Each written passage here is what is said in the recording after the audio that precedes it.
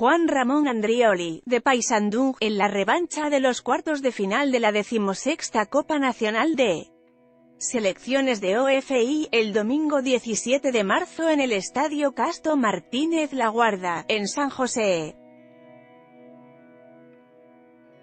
Foto, Fernando Morán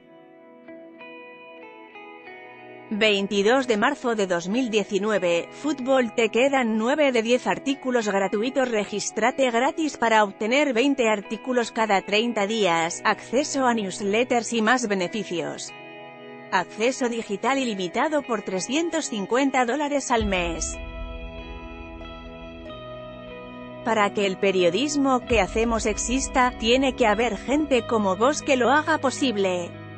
La decimosexta Copa Nacional de Selecciones de la Organización del Fútbol del Interior arranca las semifinales.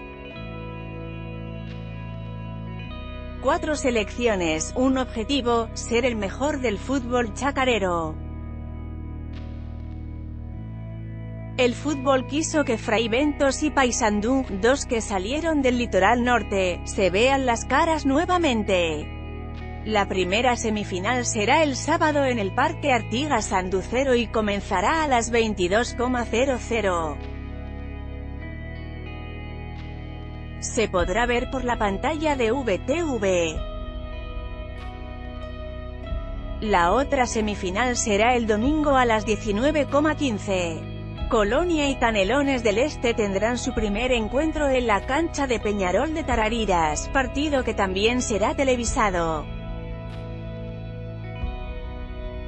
Como es costumbre con el campeonato de mayores, también se están jugando las semifinales en sub-17.